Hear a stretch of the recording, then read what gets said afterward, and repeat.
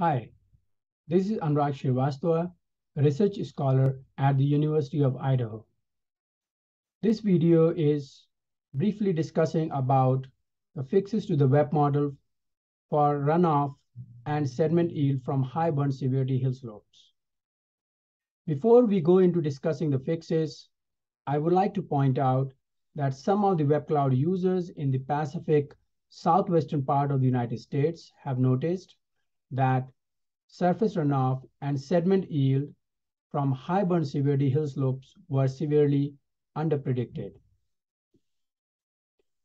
On the current WEPPcloud interface, we were using the field measured saturated hydraulic conductivity for Green-Ampt infiltration and runoff calculations.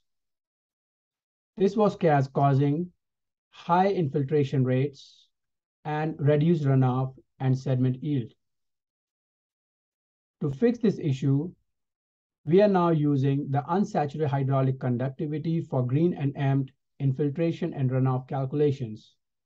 The unsaturated hydraulic conductivity is a function of field measured saturated hydraulic conductivity and soil saturation fraction. If you have any questions about this change, feel free to contact us. I hope you enjoy WEPP in the Woods.